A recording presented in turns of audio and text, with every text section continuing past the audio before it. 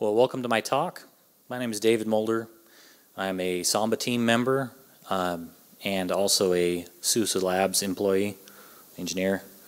Um, in this talk, I'll be talking about uh, my project called Himmelblau. It's in so association with the Samba team. Um, and it, the purpose of, uh, of this project is to connect um, Linux with the Azure um, uh, Entra ID, is what it's called now, formerly Active Directory, uh, Azure Active Directory, uh, authentication and single sign-on and such. So I'll start out giving you a introduction and a demo. I'm going to both demo Windows approach to this, which you'll find interesting, and, and our approach, um, and uh, give you some background to the project, kind of some of the reasons why we're doing this. Uh, there's a couple other members of the Samba team that have helped out a little bit. Um, I'd like to acknowledge William Brown. He's done a lot of work. Um, and I'll show you how to configure Himmelblau, and then I'll talk about some of the next steps that are planned for the project. So an introduction. Um, it's an interoperability suite for Azure Entra ID. Um, and, and also I, am targeting support for Intune. Uh, Intune, if you're not familiar, is um, Microsoft's cloud support or cloud uh, group policy kind of. In fact, it supports some of the old group policies that you can integrate into Azure Cloud. Um, I'm working on that, but there's some roadblocks because Microsoft is, is not providing documentation for Intune. Um, it facilitates Linux authentication into Azure AD, um, providing PAM and NSS modules to do that. It communicates using uh, the Himmelblau D daemon, and yeah, I mentioned Intune. So if you've heard of Ubuntu's AAD auth project, um, I don't know if you're aware, but Ubuntu officially announced it was deprecated uh, about a month ago. I don't think I mentioned that on this slide. But after last time I gave a similar talk, they actually deprecated it officially. Um, it doesn't enroll the device. Uh, there's some, uh, these are some big differences between, or, uh, behind why we decided to go different ways and did not collaborate with Ubuntu on this. Um, AAD also, Ubuntu's approach requires some explicit client um, application configuration inside of Entra ID, um, which is kind of complicated. Um, Himmelblau instead is using is mirroring Windows behavior and doing it seamlessly. Um, Ubuntu's project doesn't provide MFA, which is kind of the whole point. In fact, they are explicitly ignoring MFA requests from Microsoft and, and allow, granting you access to the host despite the MFA demand failing. So, it, and Ubuntu has pushed this project to their um, supported mainstream distros, and, um, and the community is actually using these. Um, Ubuntu's project doesn't utilize the TPM as it should, uh, and actually depends on Microsoft code. We do not and it is officially abandoned.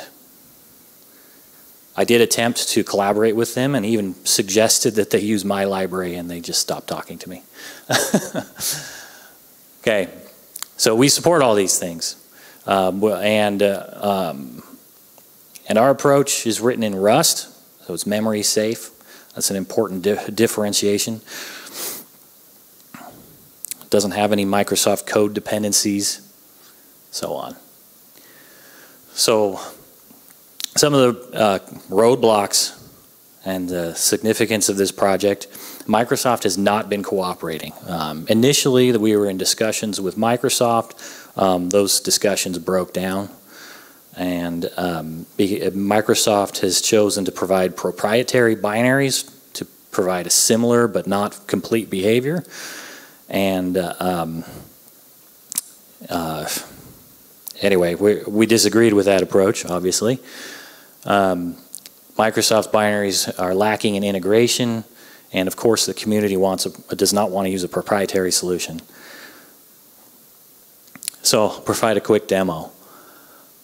So this is how you do it on Microsoft. Now, bear with me, this takes a while, the authentication. And, and this is doing an enrollment in um, Azure AD, enrolling the Windows device.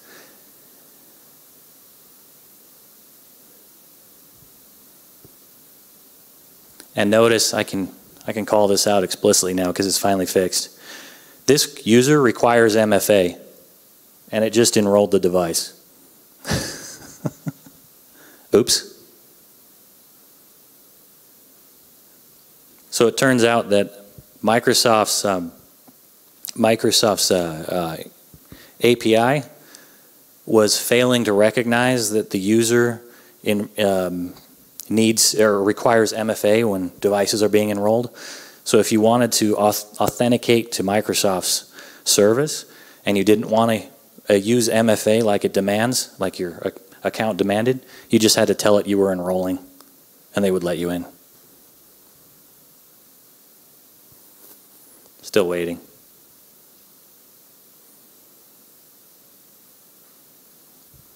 I mean, it kind of looks like it locked up. so this takes several minutes. I think I'm just going to skip past it this time.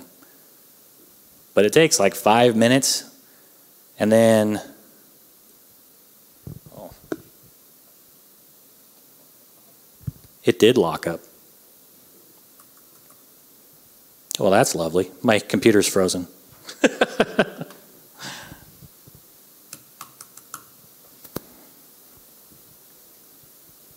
well, technical difficulties. That's what I get for recording my demo, huh?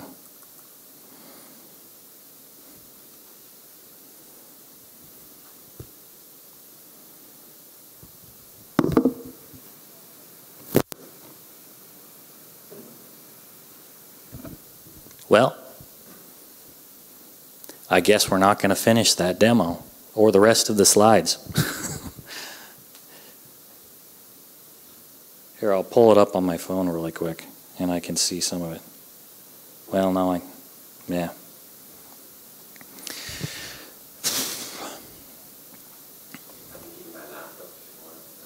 Yeah, I, I think it's going to take a while to get that all set up again, so I'll just move on. Okay, so Microsoft's authentication crashed my computer. Nice. Just the demo. So um, in, um, in, Tumbleweed, which is what I was going to show you next, you can authenticate um, using GDM or SSH. In the GDM login window, you would um, sign, if, you click on the other option when you're signing in, and you type in your your um, Entra ID, authentication ID. And um, it first prompts you for a password, and then you can move on and authenticate using MFA. Now, using Himmelblau, when you configure Himmelblau, you can um, enroll during authentication time. Um, so the first time you authenticate, it'll enroll your device just like it does in Windows. And it takes about 10 seconds, by the way, versus Microsoft's slow um, mess. And um, uh, the NF, all the NFA, sorry, all of the MFA options supported by Microsoft are supported in Himmelblau. So you can use a um, the the Microsoft Authenticator app, which just pops up a little dialog on your phone. And you click Sign In. Uh, for MFA, or you can um, use an alternative authenticator app if you choose. Um, I've tested it with Google's Authenticator or you can use a text message or, or a phone call uh, confirmation as well. Um, also, one, uh, one disadvantage to Microsoft's approach is that you can't sign in remotely, as far as I'm aware. But, uh, and in fact, um, it doesn't work with um, Microsoft's proprietary binaries. And Microsoft right now, when um, their customers try to use a Linux VM in the cloud to authenticate to their servers, they recommend that they set up a um, a certificate uh, key exchange or something to try to uh, make it work. And they, they have lots of workarounds on their website and their documentation explaining how to do this. But using Himmelblau, um, uh, a user can authenticate, which I would have shown you here, a user can authenticate just like they normally would over SSH. Um, and then you get text prompts explaining for, uh, what you need to do uh, to authenticate to uh, through MFA. And it would be just a normal SSH session. You do have to enable extra prompts in, in your SSH configuration, which is um, default in OpenSUSE. But also, you can enroll the device over SSH. To configure Himmelblau, um, it's pretty straightforward. Um, the uh, you connect, or you, when you're connected to the host, you uh, there's a simple configuration file where you uh, specify the domain and, that you want to be authorized. You can uh, authorize multiple domains, and then you can you also specify the permitted users or groups. And this is useful because you can configure a group of specific users in um, in Azure AD and specify which users have the right to authenticate. Um, you know, I'm going to turn this off since it's frozen. After you've configured it, uh, the um, the configuration file, you just need to configure PAM, which is a simple, simple call to PAM, PAM config on OpenSUSE. Um, and then you need to configure,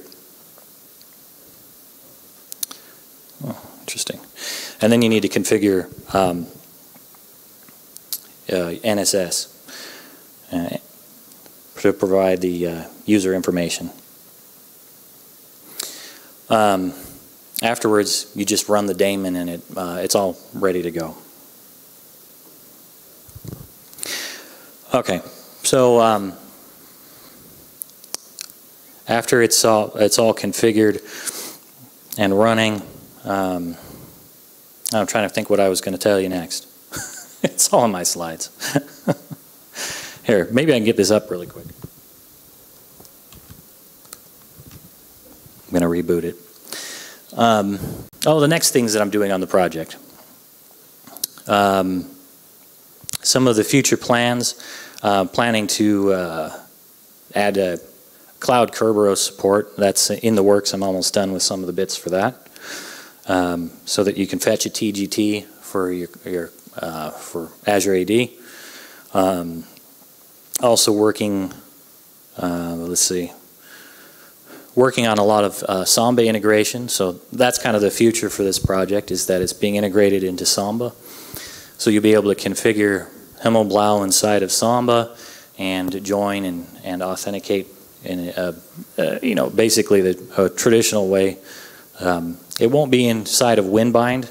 Decided that uh, it's too too of us too much of a special purpose project. Um, it, so it'll be a, a, new daemon inside of Samba, and um, so you'll configure it similar to the way you would Winbind.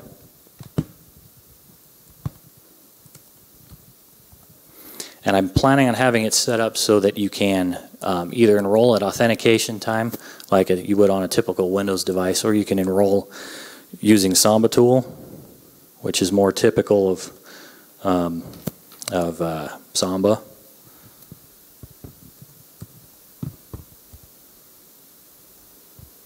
Just a second, I'm going to log in.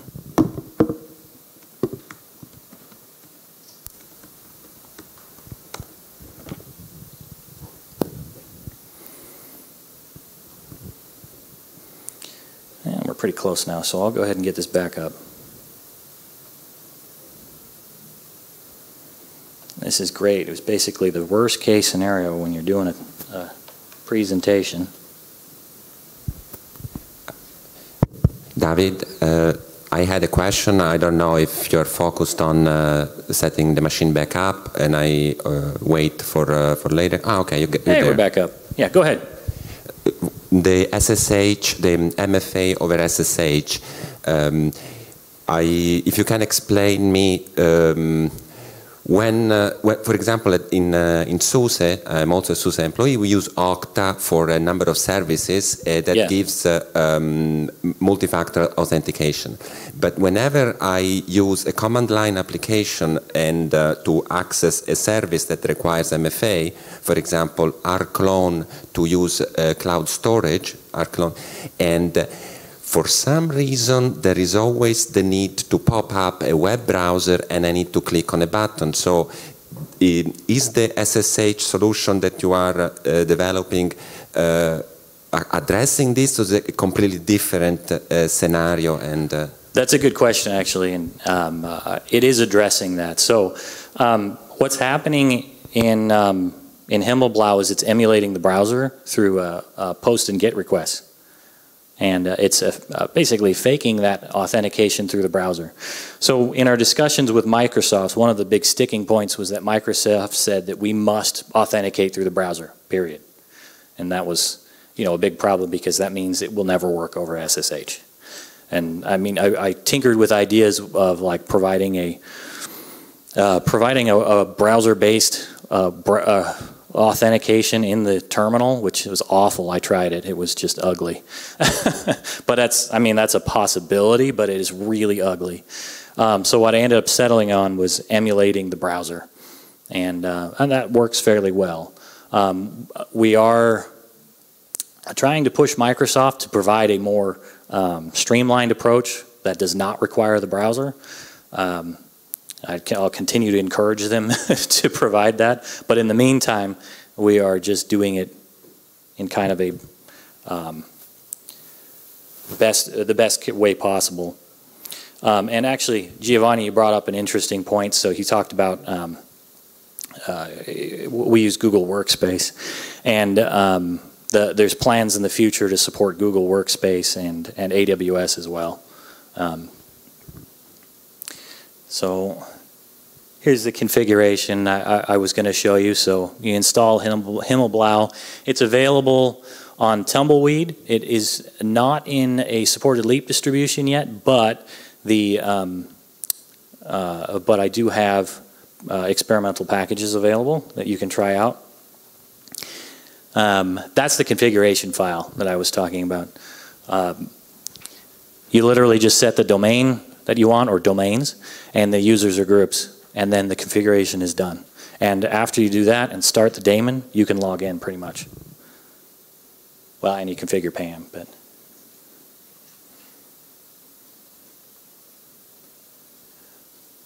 Yeah, so that's where how you start the daemon. Um, PAM configuration is pretty straightforward on OpenSUSE. I've set up PAM config to handle that. Um, NSS is really simple. You just append the Himmelblau NSS module. Okay, so here's where I was was a few minutes ago. So some of the other things. Uh, I, in fact, on here, this slide is old enough that I didn't mention the Kerberos stuff that I told you guys. Um, so one of the things that you missed because the video presentation wasn't working, or the demo presentation, is that um, I'm, I've added Windows Hello support. And this works exactly the same way as it does on Windows. It's not uh, faked or anything. The way Windows Hello works is that you have this um, uh, process for enrolling a um, RSA key um, after you've authenticated using MFA. And you enroll a key, and if you've ever set up a Windows machine, or you saw it there, uh, or you would have seen here, um, they have you set, uh, set, a PIN code to authenticate to your system. And that PIN code is, um, uh, is used to unlock a TPM key, and, that, and the public key is registered with Microsoft and represents you when you authenticate. Um, so in the future, I'd like to get uh, fingerprint authentication working, and also um, uh, also get the FIDO keys working, which would be convenient. Um, there are some plans to try to do a QR code authentication uh, using the uh, device authentication code, so you can just scan a QR code on your on your laptop. Um, that's in the works, but there's a caveat to that because Microsoft is discouraging people from using that process, and it will probably be disabled at some point. So maybe not the best. Um, Uh, I plan on getting browser single sign-on working. The point of that is that you could um, sign into your laptop and it would automatically be signed into Azure.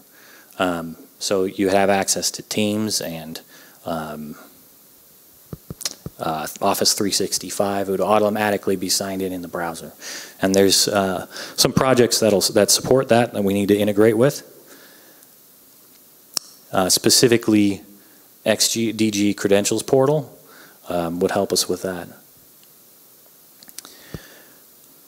Oh, and yeah, anyway.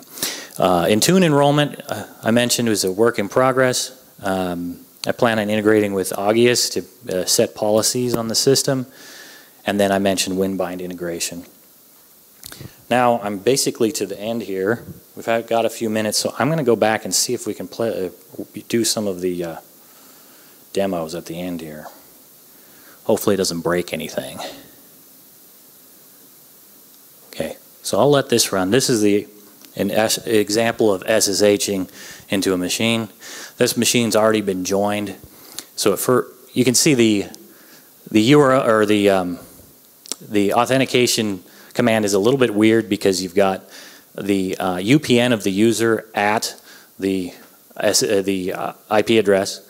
So it looks a little strange. You do have to use the UPN. Microsoft requires that. Um,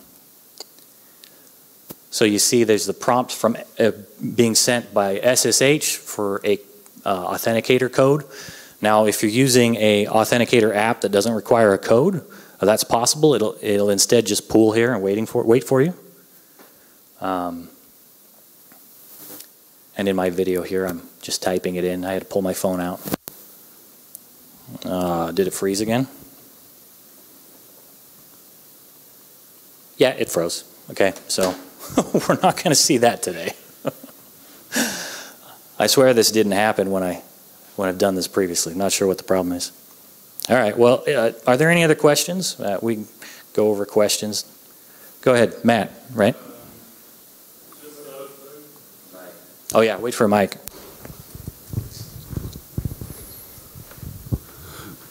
Uh, just out of curiosity, where does the name Himmelblau come from? Uh, well, das ist Deutsch. uh, uh, so sky blue or azure blue, just kind of a, a silly name to for to refer to Microsoft's Azure cloud. That's what it is. Any other questions?